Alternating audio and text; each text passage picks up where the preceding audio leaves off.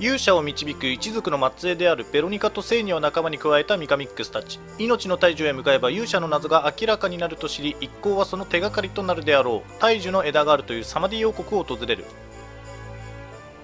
しかし肝心のサマディ王はファーリス杯の準備に心を奪われ全く取り合ってくれなかった。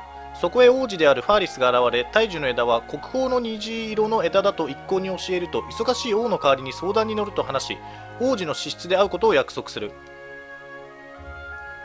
王子の資質に向かった一行は頼みを聞いてくれれば枝を譲りを王に掛け合うと王子から提案される。話の続きは城下町のサーカス一座がやっているショーを見ながらすることとなりミカミックスたちは夜サーカステントの前に来るよう頼まれるのであった。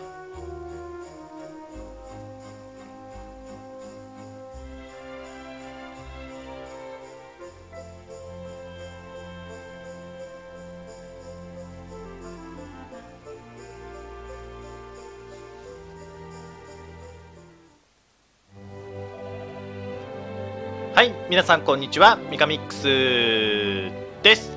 ドラゴンクエスト11続きをやっていきたいと思います。サマディ城下町ですね。えー、っとその前にちょっとイベントをねあのこなしたのがありますのでちょっとそちらの方から、えーご覧いただいて。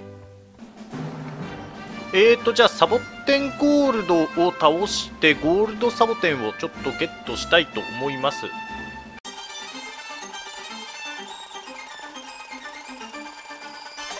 あいた。とりあえずこいつを倒そう。サボテンボール。要はこれのレアモンスターを倒せばいいってことでしょ？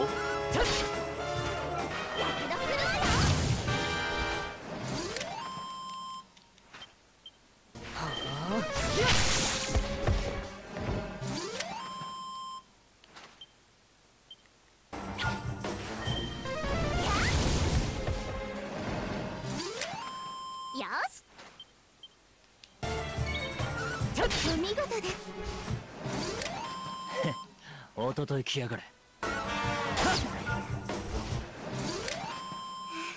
一安心ですね。サンドフルーツゲット。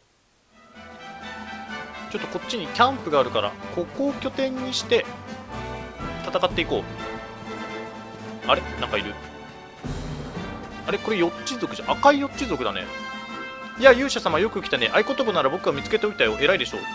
今から合言葉を教えてあげるから忘れないようにね冒険の書の合言葉。悪霊の祭壇。ムーンペタの街。ドラクエ2だ。僕の他にも冒険の書の合言葉を探している仲間がいるから予知族を見かけたらまた話しかけて。なるほど。ゲットした。これも後でやっていきましょう。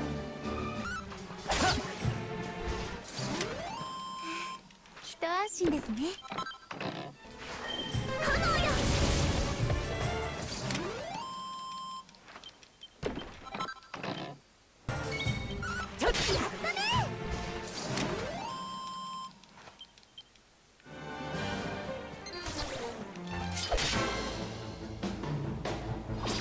おお出てきた。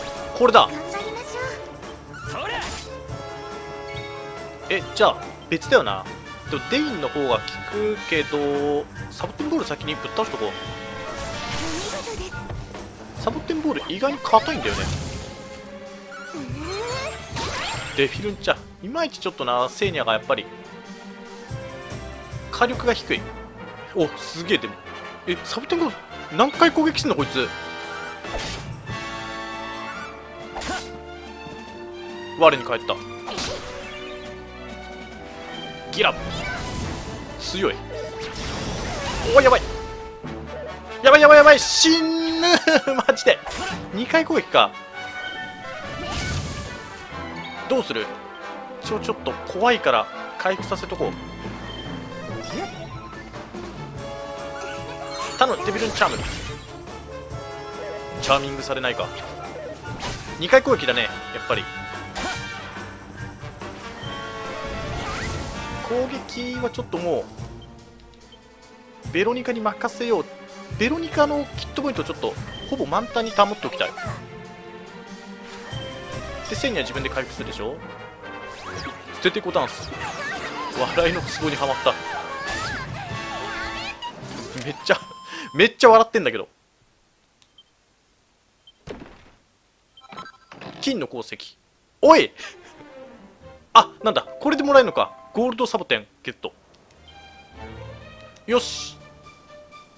料理人の男に渡しに行きますか。えーとサマディ城下町の方。キャンプ場もルーラー登録されんだね。ではこいつに渡しましょう。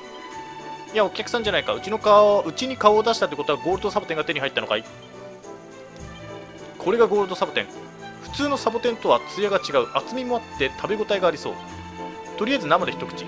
この糸引くような粘り気も舌を刺すような酸味も素晴らしい。これなら考えてた通りの最高のサボテンステーキが作れそう。ありがとうお客さん。いい料理が完成できそうだ。少ないけどお礼をさせてくれ。三河市のカード。カードって何？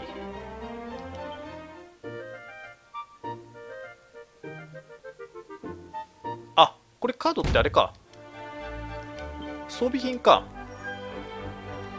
どうしようかな。ちょっとベロニカに装備させるか。装備こっちか。三河市のカード。三河市の力を封じた不思議なカード。三河市率1%、まあ、守備力も普通に上がるからね。ちょっと装備しておこう。ということで、えー無事サボテンゴールドゴールドサボテンか、えーゲットしました。はい、えーではもう一つですね。四地族から合言葉を手に入れましたので悪霊の祭壇やっていきましょう。ムーンペタの町もうムーンペタといえば王女絡みかな、ま、王女やっぱいるね。犬。あ全員犬になってる。こいつらを元に戻せという話か。ワンワンワン。ワンワン。あれ？むしろ逆になってる。私はかつてこの大陸を治めていたムーンブルクという国の王女です。邪教を崇める大神官ハーゴンの手の者にムーンブルクの城は焼き滅ぼされ私は犬の姿に変えられてしまいました。そしてこのムーンペタの町に飛ばされあてもなく犬の姿のまま過ごしていた。先日何者かによって呪いの力が乱され気づけば私は人間の姿に戻り民は犬の姿になっていた。皆の城が失われただけではなく私の呪いで民を苦しめてしまうなんてせめて皆の呪いだけは解いてあげたい。かつて勇者ロトがいた時代にはシャナクという呪いを解く呪文が存在していたようです。私には使えない高度な呪文ですが魔法の聖水という聖なる水があれば一度くらいは使えるかもしれません。お願いです旅の方。どうか民に移ってしまった呪いを解くために魔法の聖水を探してくれませんかと。悪魔の尻尾くれるんだ。魔法の聖水は古い書物で読んだだけで実際にこの目で見たことはない。でも世界中を渡り歩く旅の方ならきっとご存知だと思います。手に入れたら私のところまでいらしてください。えー、これ外とか出れんの？いや出れなそうだな。木に囲まれている。え敵は出ない？まあモンスターが出るような雰囲気ではないよね。この村の中で話を完結させろと。あそんな感じだね。旅の扉は戻っちゃうからね。端に犬がいたな。こいつのところに行こう。特になんでもない。え全員話す？片っ端から。どれに話しかけたんだか。わかんねえな。道具屋。あこれこれは？あなんでもないか。えー、こいつ話したっけ？ハフハフハフ。話した気がする。向こう側行くか。鍵がかかってる。えマジでちょっとわかんねえ。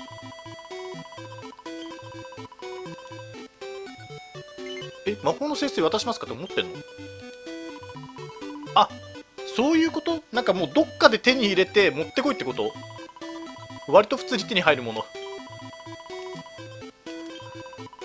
まだ魔力の低い未熟者ですが魔法の聖水の力を借りれば行為の呪文も使えるはずです。そういう魔魔法の聖水なの？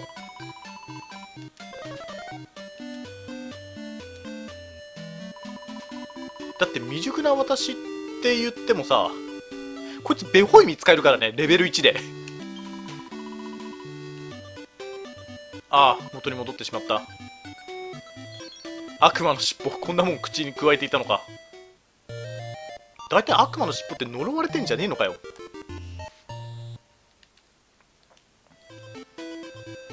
復活の呪文を教えてくれる人は特に何にもない。犬になっていた気がしますが夢でも見ていたんでしょうか。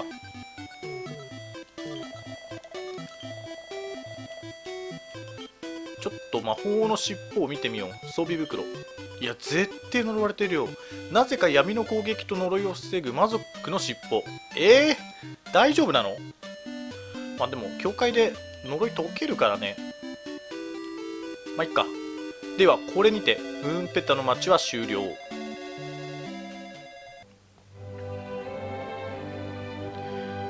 じゃあえっ、ー、と夜にサーカスの前で落ち合うことになっておりますのでこれは宿屋に行って夜にしちゃいましょう。確かなんか夜にするみたいなのがあったよね。この親父でいいのかな？えー、休むか？で夜まで。休憩も宿泊も同じ値段か。よくお休みでしたね。こいつ不眠不休で働いてんのかな？あれこれ道具屋の姉ちゃん？ちょっと顔が遠くてあんまり見えないけど。赤いポッチがあるね。あ一応分かんないようにしてるのか。いや来たな約束通りサーカスを見ながら例の話の続きをしようじゃないか。サーカスを見ながらっていうとこはなんか集中できなさそう。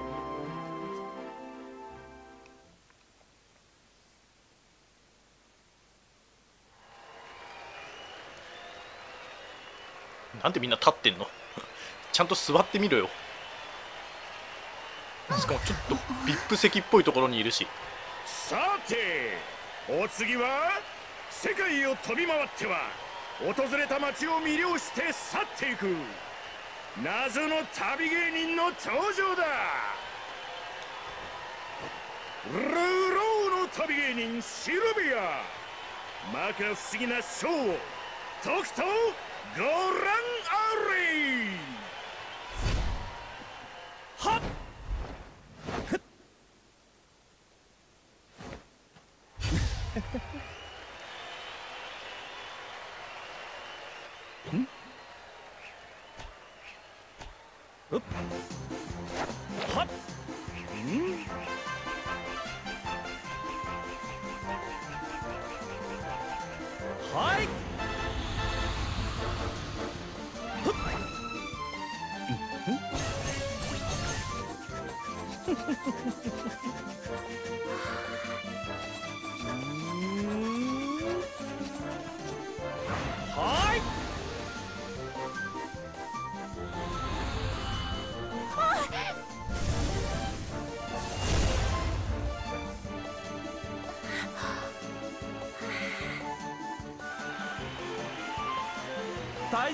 客様に怪我などさせません。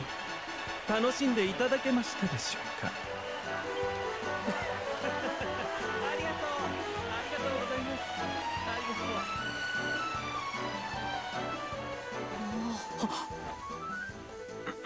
とうみんなサーカスに夢中のようだなではそろそろ本題に入ろうかこれから言うことは口外しないでくれよ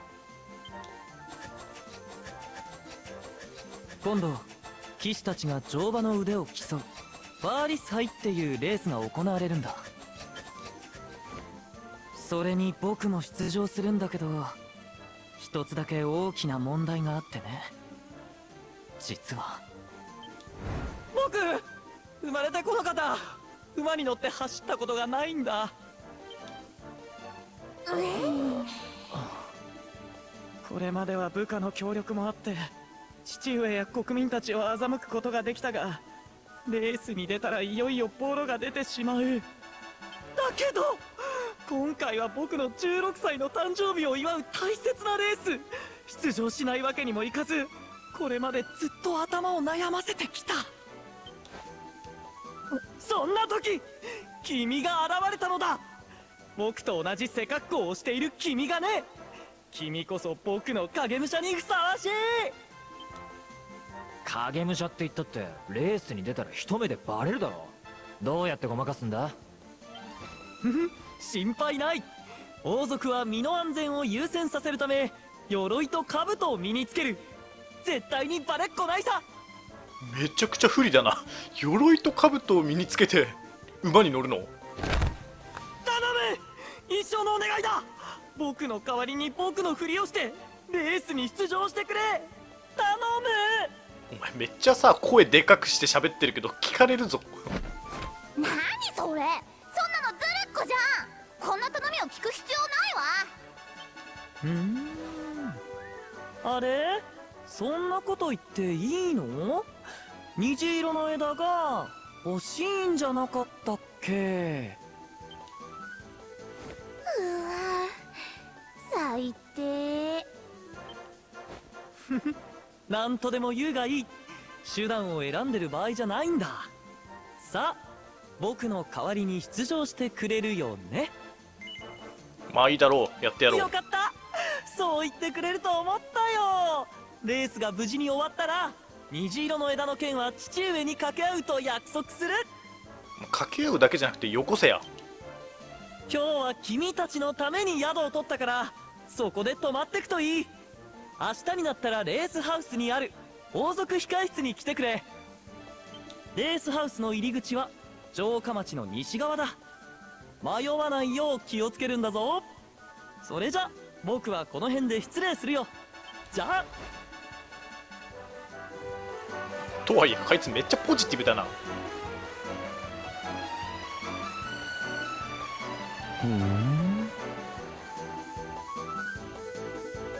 ミカミックスたちはファーリス王子の計らいで城下町の宿屋で一夜を過ごすことにした。そして夜が明けた。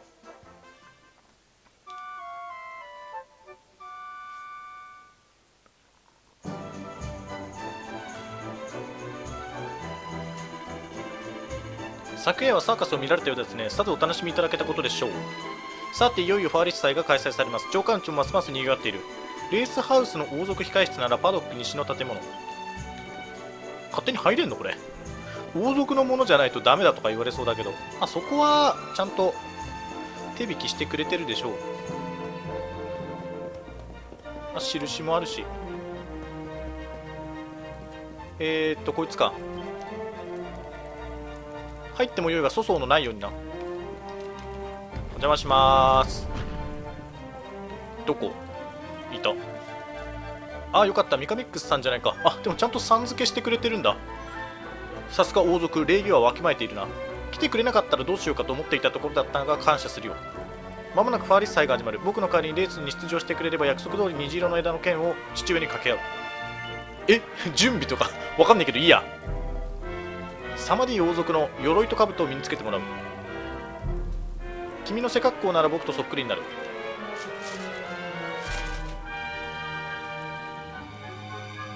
ミカミックスは王子から受け取ったサマディ王族の鎧と兜を身につけた。おおバッチリ似合ってるじゃないか、まあ、確かに完全に顔が隠れるんだったら分かんないね。これならまさか別人だとは誰も思わないだろう。さてそろそろファーレス祭が始まる。部屋の外に馬が用意されているからその馬に乗ってパドックに出る。奥に進めばレース場に着く。レースが終わった後は城の地下にあるレース場へと続く通路で待ち合わせ。そこでまた入れ替わる。君はもうサマディの王子だからな。くれぐれもレースを頼んだぞ。王子にふさわしい走りを期待してるかな。落馬とかしねえかな。落馬してさこの兜がコロって外れてうわ誰だあいつはみたいな。ん？どどうしろって言ったっけ？で馬がいるって言ってたよね。よ優れた馬を用意した。これもなんか微妙だよね。ちょっとインチキ臭い。そちらの馬に乗って奥へ進んでください。さて行こう。えじゃ俺自分で走んの？これなんかみんな何か言ってるけど聞こえなかった。よー。誰も待ってねえじゃねえかよ。いや一応手振ってくれてるか。どうだ？うおすげえ。引き殺すとこの野郎。なんて強い子供なんだ。お前も引き殺す。あれちょっと待って。強い。強すぎる。俺がむしろ弾かれるんだけど。なオートランって。ちょっと待って待って待って待って待って。乗りこなせてないんだけど。何？オートランって？さっきなったけど。まあいいや。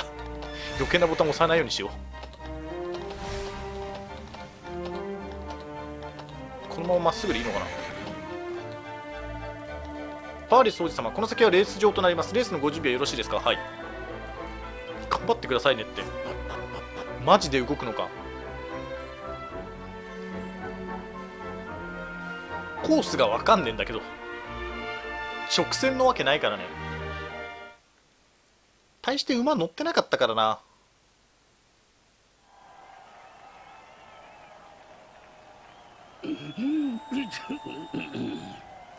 ええ本日はお日柄もよく。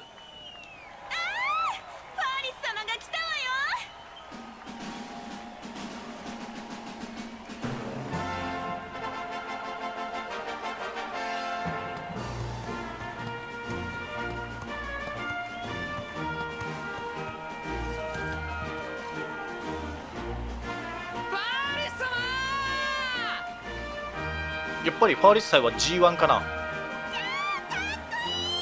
こんな G1 のレースに出るなんて。頑張れよ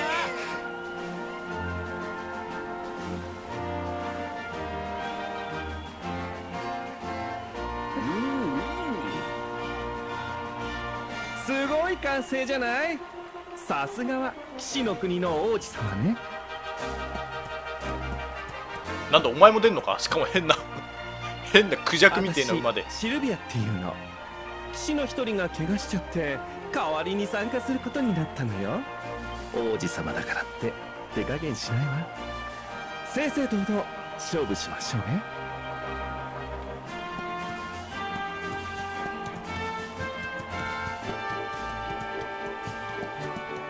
え何頭全部で4頭しかいないの？てかシルビアだけさ鎧着てねえし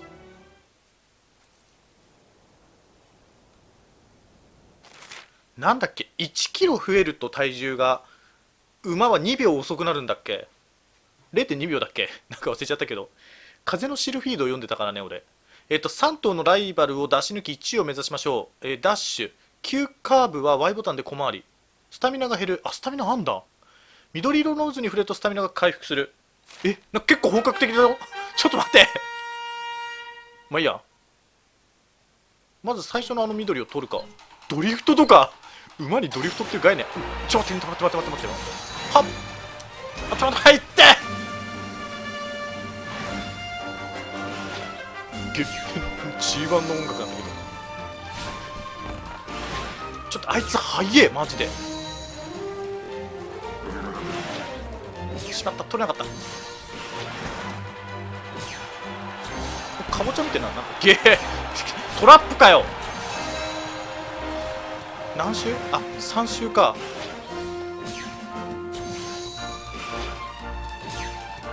ちょっとマジでスタミナがなくなるな。ここはスタミナを回あ勝手に今回復するんだ一応。なるべく直線のところでさ。いやあいつマジ速えわ。このまま行く。ラストスパート。取れなかった。結構ね曲がる。このここが一番難しい。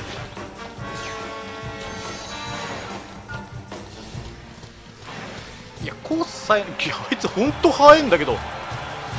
なんかもう常にダッシュしてなきゃ無理じゃね？最後結構速かったよね。ってかもともとブーストがかかんのかな？まあしょうがない。初見じゃ無理だ。完全に初見殺しだな。えでもなんか1位になるとなんかいいものがもらえるとかだったらね頑張りたいけど。てかさこれ 3D だったけどさ 2D だったらどうなんの？それもちょっと興味あるよな。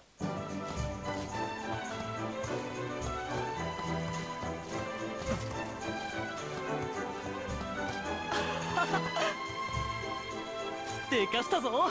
相当馬の扱いに慣れてるな。あそこまで走れるとは思わなかったよ。あでも満足してくれてる。さあ変わってくれ。これからみんなの前に出ないといけない。今度は僕が馬に乗る番だ。え乗れんの？普通に乗るだけだったら大丈夫なのかな？君のおかげで助かったよ。虹色の枝の剣は僕が何とかしよう。それじゃまた後で。まあ役目は果たせたからいいか。いや全然ダメっぽいな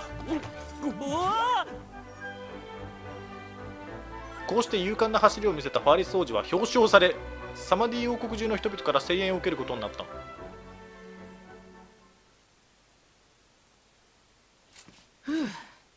ここまで来れば大丈夫だろう。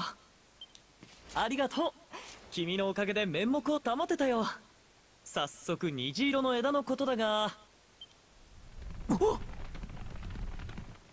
なあ騎士の国のお坊ちゃん。さっきの走りやるじゃない。私感動しちゃったわ。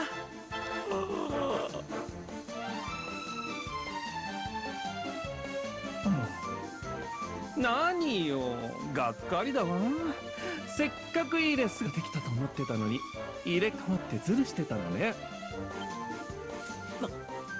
なんだよ。あなたに何がわかるんだ。王子が馬に乗れないなんてバレたら国民たちの期待を裏切ることになるんだぞ。全員が嫌な気持ちにならないためにこうしてるだけだ。これで全てが丸く収まるんだから問題ないだろ。ふんそうかしら。勝てない勝負でも正々堂々と戦うのが騎士道ってものではなくて？黙れ僕はこの国の王子だぞ。流れの旅芸人が王子である僕に騎士道を語るんじゃない。王子様失礼します。めっちゃ来てんな。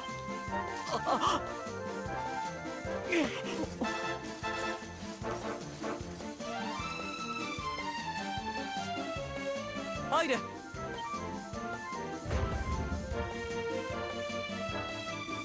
だこいつさ結局前見えなそうだよ見えてる。お呼びでございます。ファーリス様の勇敢な走りに大変心を打たれたご様子です。ああ分かった。すぐに行くよ。君には世話になった。虹色の枝の剣は僕が何とかするから。後で玉座の間に来てくれ。まあでもねちゃんとなんとかしてくれるようだからそこは評価しよう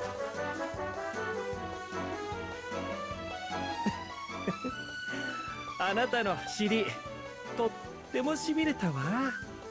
またどこかで会ったらよろしくね。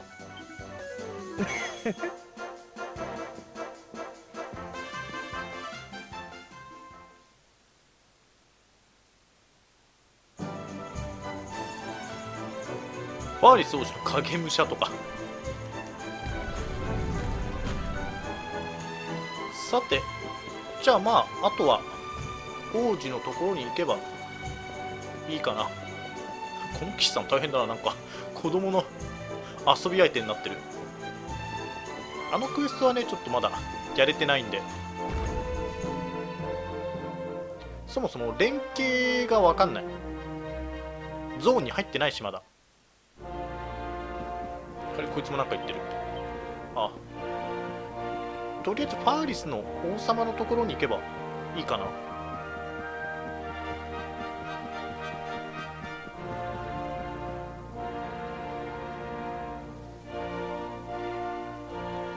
ありがたきお言葉。今後もこのファーリス騎士として精進いたします。来たか。父上実はお願いがあります。あちらの旅の方の頼みを聞いてはくださいませんか。おお人助けとはさすがは我が息子。騎士道をよく心得ているな。なんだ言ってみろてかさこいつサマディ王はさ騎士道としてはどうなの？なんかはい。ただの王様にしか見えないけど、そのお願いというのはあちらの旅の方に虹色の。王様大変です！どうした？サソリの化け物です！バクラバ砂丘にまたあのサソリが現れました！巡回中の兵士が怪我をした模様です！いいあの砂漠の殺し屋か毎年この時期になると決まって現れるな。自国の平和を守るのは騎士の務め二度と現れぬようよりすぐりの騎士を派遣し今度こそ息の根を止めてくれるわ。待てよ。そうだ。我が息子に魔物を捕らえさせよう。騎士として成長したお前ならば今回の任務もきっとこなせるであろういきなりレベル高えな。レイク戦の騎士を次々と亡き者にしてきた。あの魔物を私がですか？わ私では叶いませんよ。い や実力者ほど謙遜するものだ。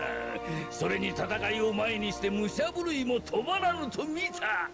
頼もしい限りだなよしファーレスよ。行け。砂漠の殺し屋を見事捕らえてまいれ。ははい承知しました。準備のため一度自室に戻ります。それでは。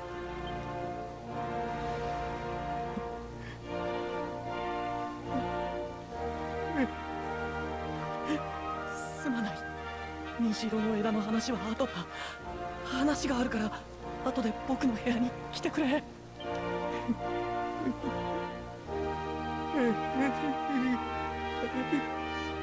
こいつ普段の稽古どうしてんだろう？それすらもごまかしてんのかな？こいつは知らないのか？でも兵士も知ってる奴らはいるってことだよね。協力してもらってるってことは。なんか知ってる兵士いねえかな。いやー王子には無理っしょみたいな。王子様の護衛をやることになった。ああこいつは知ってる派かな。ちょっとわかんねえ。青ざめた顔で部屋に入っていきましたよ。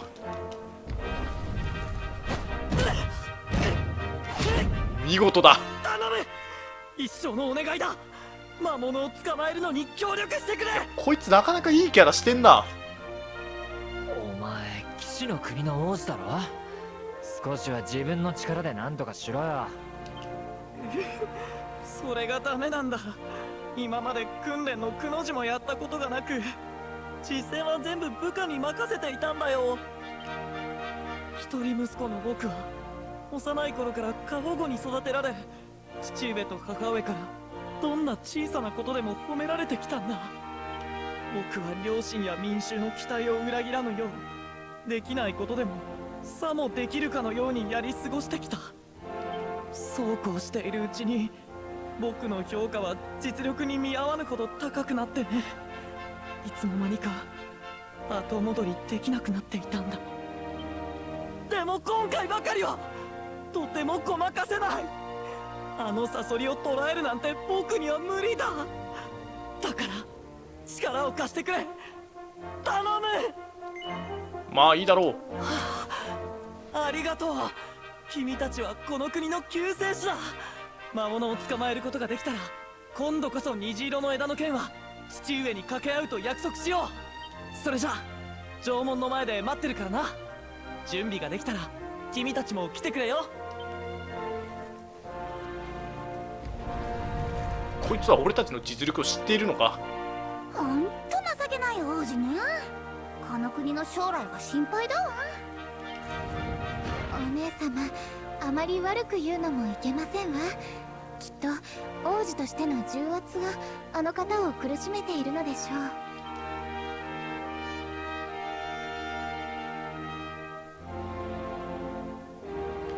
まあそのまま行きますか。さささっと。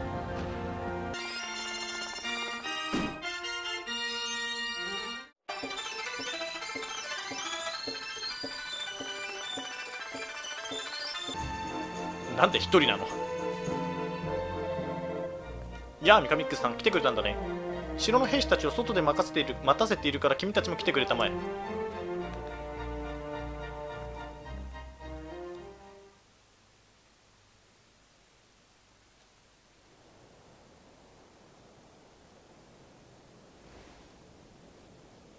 なぜ魔物を捕らえると言ってしまったんです？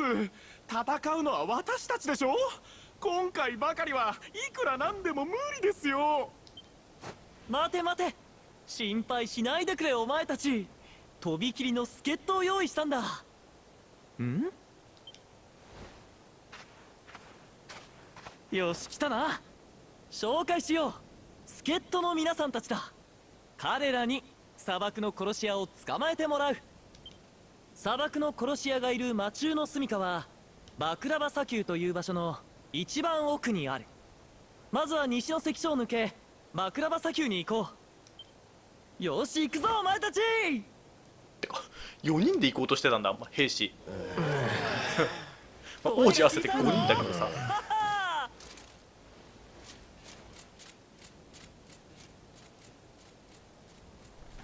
士気が低すぎる。ねえ。サソリちゃんを捕まえに行くんでしょ？楽しそうじゃない。私も混ぜて。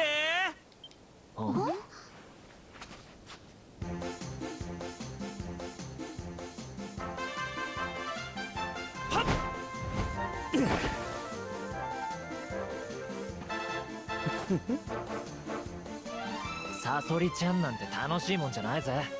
大体あんた旅芸人だろ？サーカスの方はいいのか？サーカスよりもあのお坊ちゃんのことが気になってね。ね？私もついていっていいでしょ？まあ別にいいけどさ。あなたならそう言ってくれると思ったわ。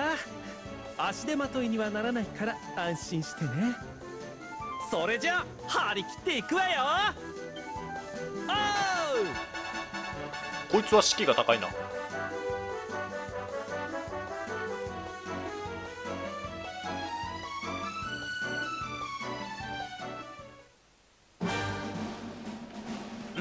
でどうなってんの？ああでもまあ4人だけか。えー、馬呼ぶ？呼んでこ。でバックラーバーサーキューだからそのままあっちだね。走ろ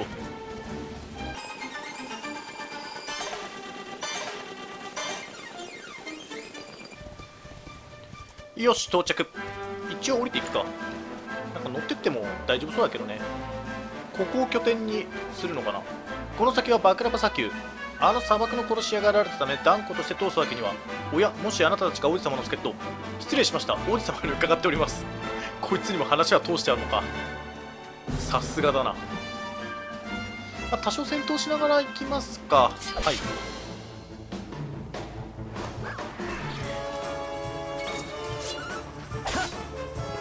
やどっちかっていうとキメラに攻撃してもらいたかった。おリトレってシルビアいるの？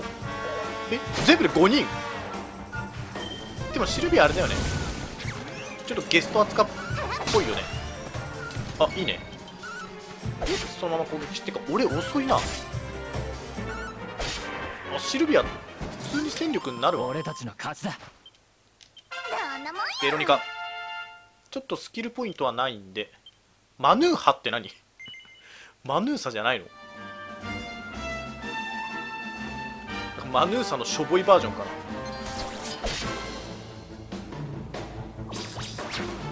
サボテンボール。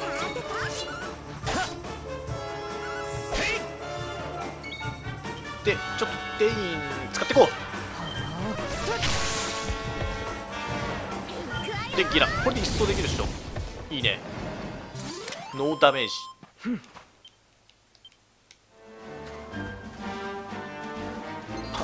奥行きますか。さすがに全部を相手してるとちょっとマジックパワーも底がつけるし突っ切ってこうなんか端っことかにありそう。あああるな。帰りに探索するのもありだね。獣の骨。今なんか光ってなかった？気のせいか。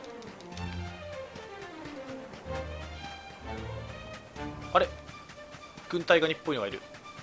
あれこいつなんだ？魔法使いか？超いっぱいいんだけど。こ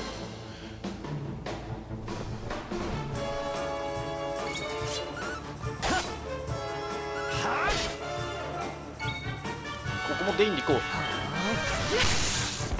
いやマジ強いわデイン。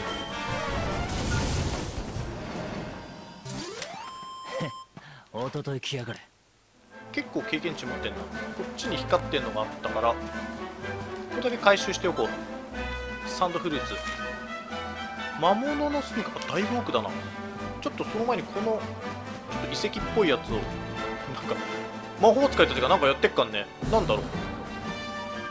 あれ？なんかいる。こいつなんだ？クレイモランという国から来た学者。サマディオの許可を取り遺跡を調査をしている。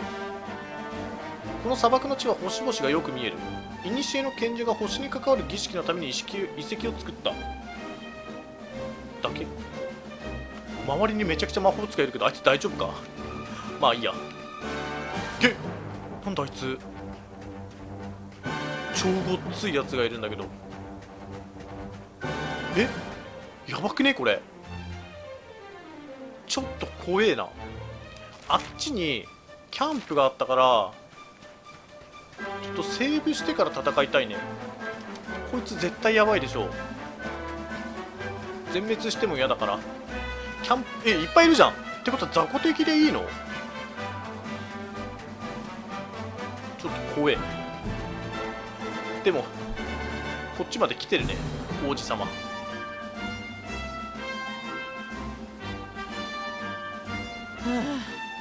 ようやく休めそうな場所に出たな。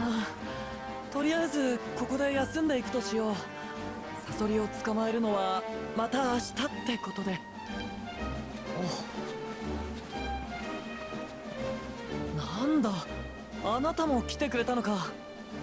見ての通りだ。明日に備えてここでキャンプを張ることにしたからな。ええここらで休むのは賛成だわ。サソリちゃんは手強いと噂だものね。私たちも戦いに備えて休みましょう。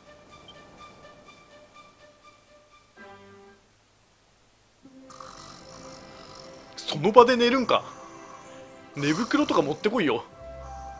あなたたち男2人女2人の4人旅なんてロマンチックじゃない。今はまだ全てが明らかになったわけではありませんが勇者にまつわる伝説その全ての謎を解き明かすために命の大樹を目指す旅をしているのです。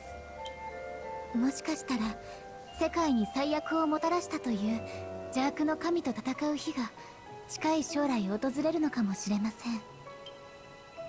ダメよせいにゃ見ず知らずの旅芸人にそんなことまで話しちゃへえ。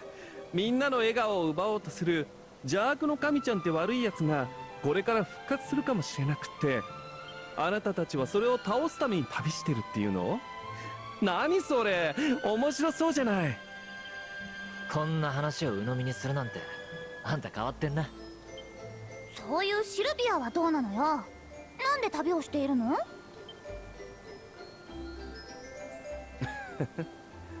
私のことはいいわよ。さあ明日はサソリちゃんと決戦よ。おしゃべりはこれくらいにして寝ましょう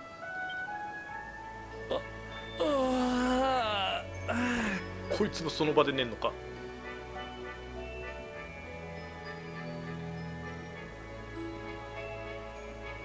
なんだよもったいぶりやがって。たく変なやつだぜ。てかお前も目的隠してんだろ神よ。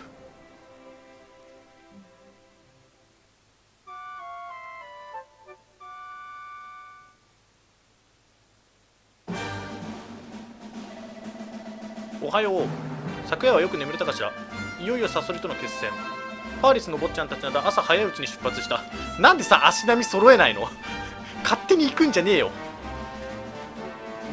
むしろ先行して後からついてくるとかならまだわかるけどさ戦うの俺たちだったから先へ行くんじゃねえ。こいつと戦いたいその前に。え？ライバーンドッグ。超強そうなんだけど。30で2回攻撃か。シルビアがいてくれるかな今は。何かいやデインというよりは火炎切りっていう感じでもないからな。やっぱデインで攻めるか。よし40これはかなりでかい。セーニャーがトラックうわあいつに当たってくれる分にはいいか。死ぬ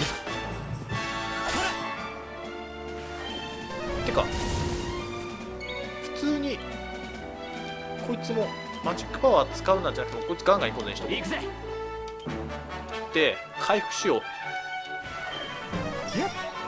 回復役が2人になればまあまあけダメージが通らないんだから防御でも捨てろ。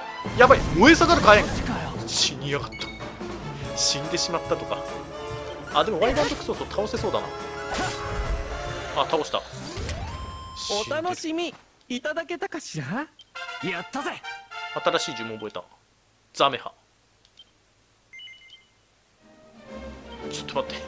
生き返さなくては、まあ、ちょっと強い敵っていう感じだね。生き返らせてください。お願いします。こいつ金取ってくんのかな？せいにゃ90円どこに？そこら辺に置いとくのかな？足元にでも。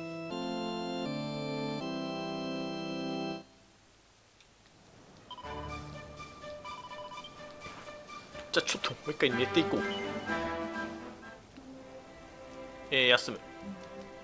朝までで一緒一晩休んだけどさ王子たちどうしてんだろう。一晩経ってもミカビックスさんたちが来ないみたいな。逃げてしまったのだろうかって思うよね。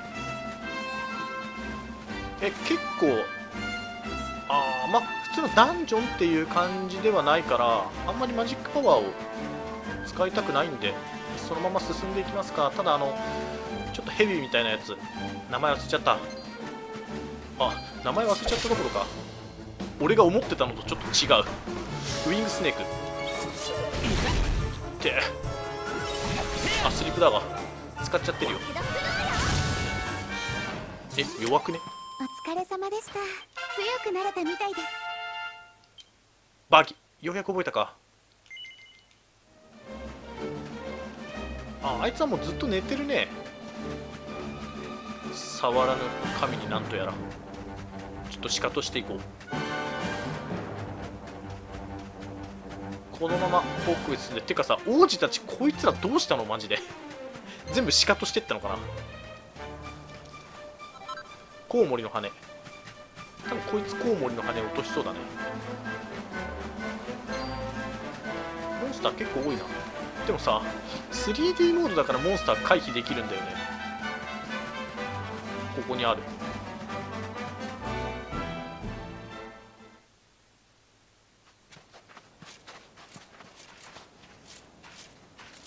こいつら一晩ここで待ってたのか？ずっと。この辺りにいるはずなんですが。なんだどこにもいないじゃないか。仕方ない。砂漠の殺し屋は僕を恐れて逃げたと父上に報告するとしよう。じゃあもともとそうすればよかったじゃん。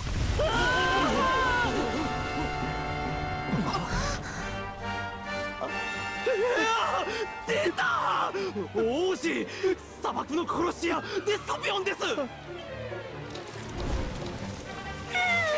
えー、結構普通に魔物だね。てかでかい。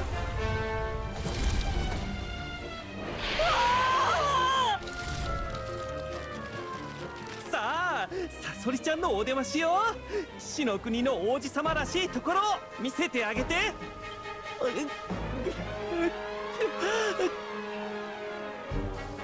もうしょうがないわね。兵士ちゃんたちお坊ちゃんを頼むわ。さあ行くわよ。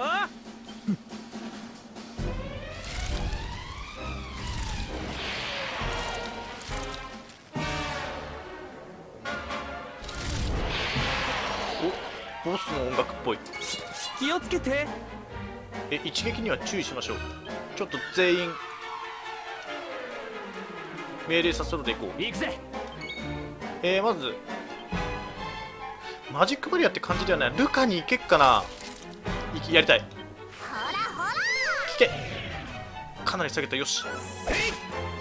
30当たるようになってんね。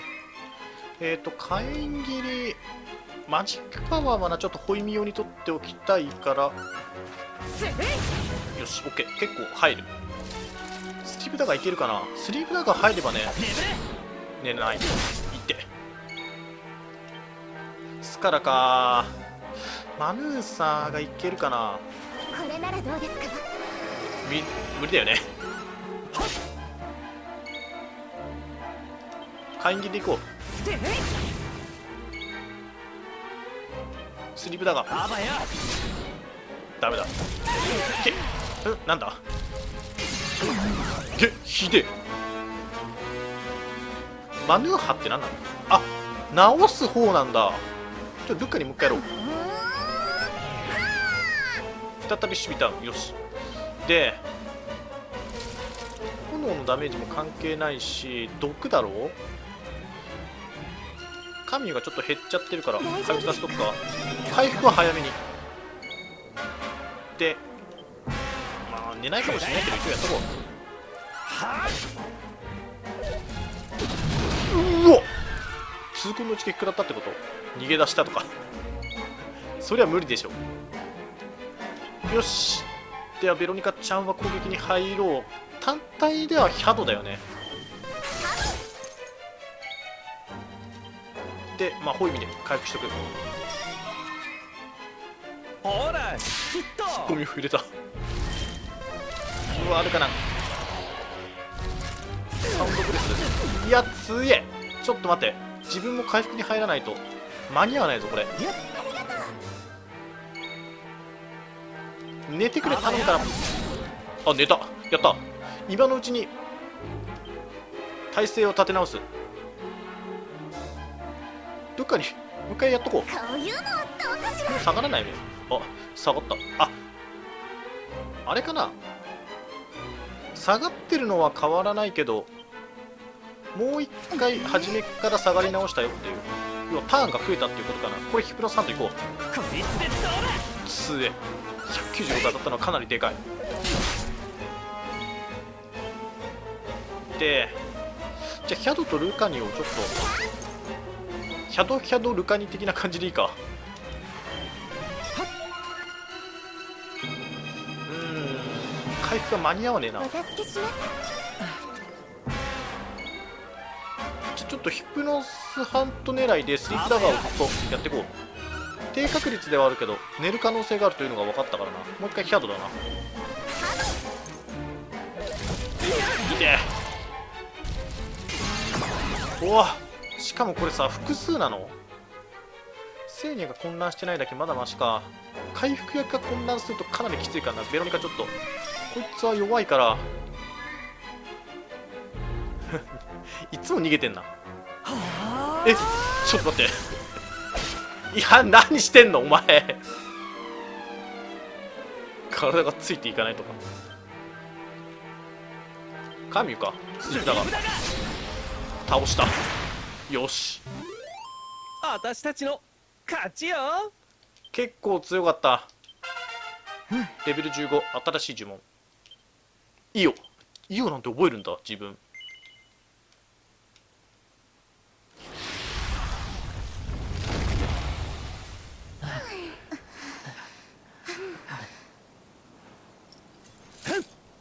さーて砂漠のみんなを苦しめるサソリちゃんにはお仕置きをしなきゃね。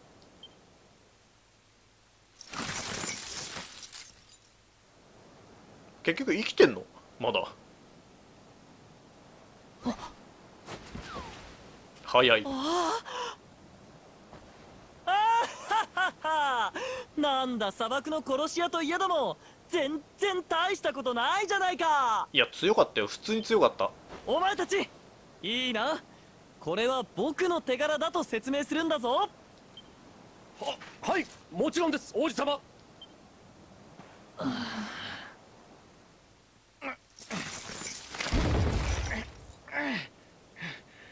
し。君のおかげでなんとかなりそうだ。本当にありがとう。今度こそ虹色の枝の剣は父上に掛け合うから安心してくれ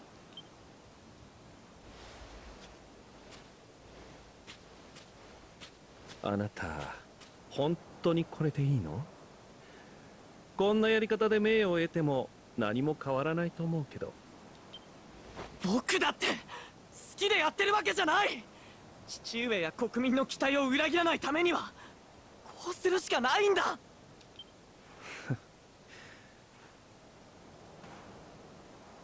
そう。あなたはそうやって生きていくのねお前たち行くぞ！まあ俺はルーラーで帰るけどね。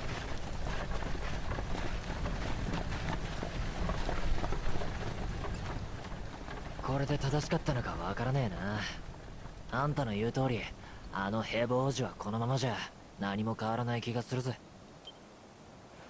でもあの子は今の自分に満足していない。何かきっかけさえあればもしかしたら負けるかもね。私はそろそろ行くわ。旅の途中で見かけたら挨拶ぐらいしてね。それじゃアデュー。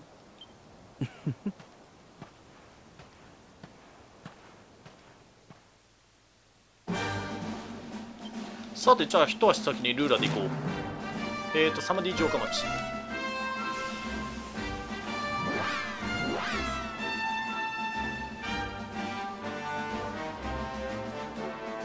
ベロニカとセニアがなかなかゾーンに入らないね。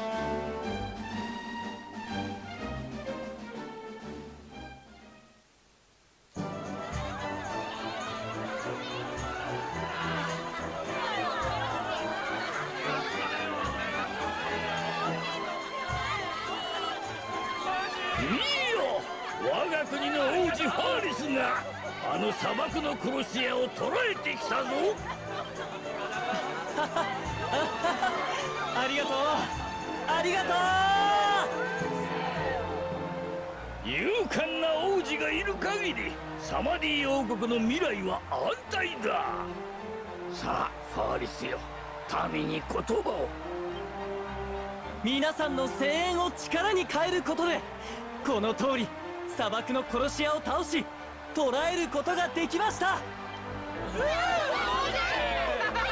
りがとう！お動いてんじゃん。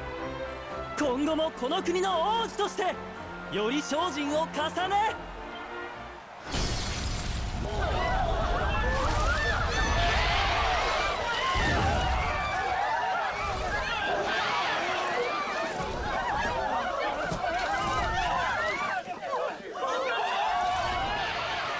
みんな慌てるな。俺たちには王子様がついてる。王子様がきっと魔物を倒してくれるはず。お前は冷静すぎだろ。おお確かに。ファーリス王子がいれば安心だ。てかめっちゃ元気じゃん。い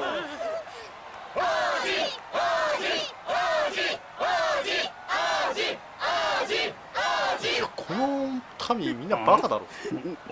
どうしたファーリスよお前ほどの実力があれば問題なかろう。民の期待に応えるのだ。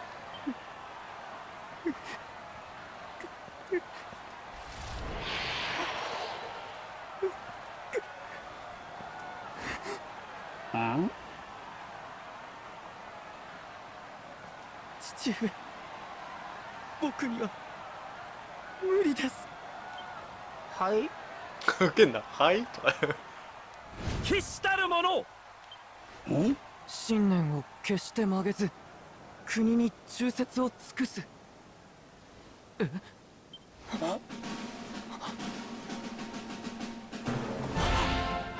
騎士たる者どんな逆境にあっても正々堂々と立ち向かう。そう。あなたは騎士の国の王子。卑怯者で終わりたくなければ戦いなさい。僕は。騎士の国の王子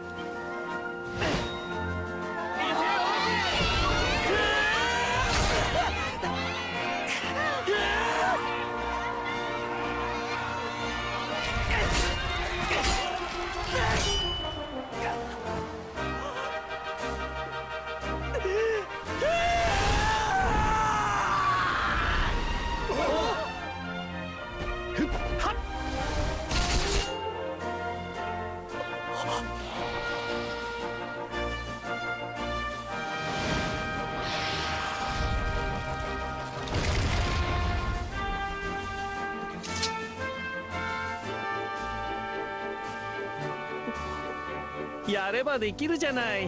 かっこよかったわよ。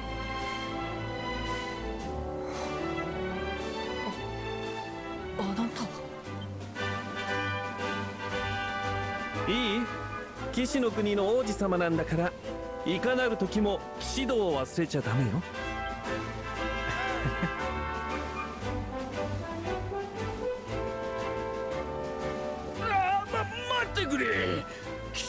深い理解があるようだがそなたは一体何者なのだ？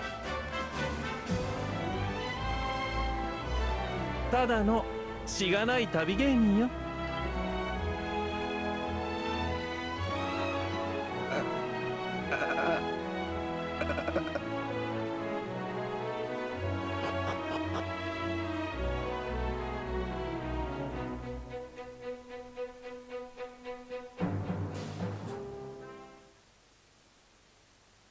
りあえず枝よこせや。父上母上。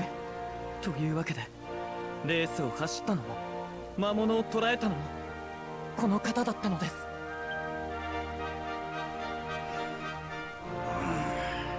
顔を上げよファーレス。わしたちはこれまで等身大のお前を見ずに見合わぬ重圧を与えていたようだな。謝らなければいけないのはわしらの方やもしれんこれからは妻と共に考えを改めるとしよう。だが先ほどの戦いで見せた勇気はなかなかのものだったぞ。防戦一方とはいえ騎士の国の王子としてふさわしい戦いだった。あの勇気があればいつかはお前の目標であるデルカダールの猛将グリーグ殿の隊にも入れるであろうな。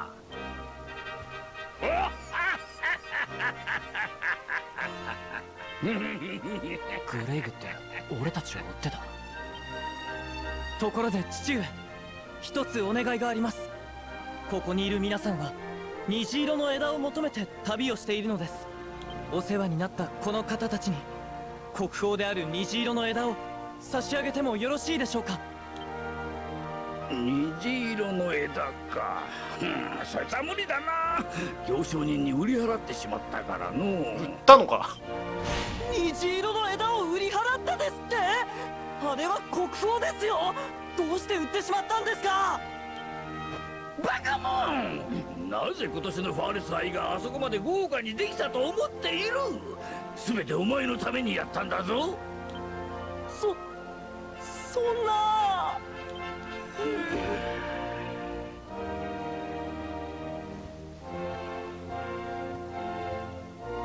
すまないことをしたな旅の者よ。虹色の枝を売った行商人だがここより西のダーハルーネに向かうと言っておったぞ。これを持っていけば西の関所を越えることができる。ダーハルーネで情報を集めるがよい。サマディ王の書簡。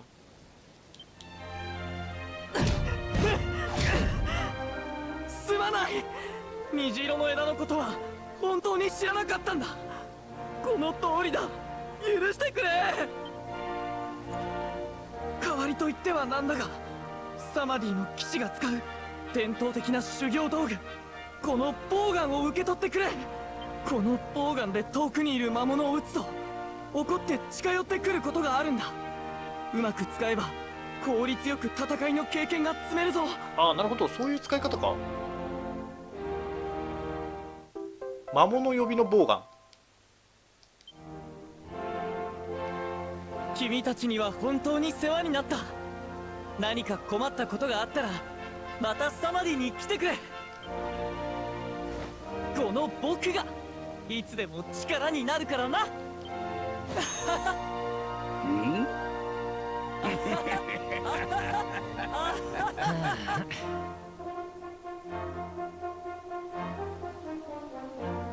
一応ちょっと王様に話していくか。ファーリスもわしも深く反省している。まさっきの話か。旅芸人に会ったら礼を伝えておいてくれないか。彼には真の騎士道精神があった。わしは彼の姿を見て忘れかけていた大切なものを思い出したまあ俺は後ろの宝箱パクったけどね。完全に盗っ人精神だから。じゃあとりあえずまた教会の方に行きますか。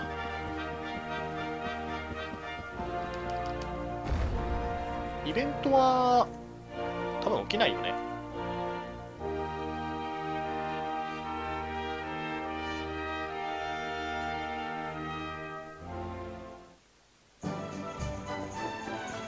こいつずっとここにいんな元からいたっけ？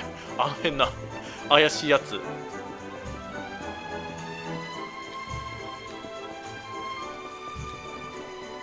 よし。じゃあちょっとセーブをして終わりにしますか。えー、というところでじゃあ今回はここで終了したいと思います、えー次回は何だっけ？もう名前忘れちゃったよ。あ見えねえし。なんとかかんとか王国に向かっていきたいと思います、えー最後までご視聴ありがとうございました。チャンネル登録 Twitter のフォローしていただければ幸いです。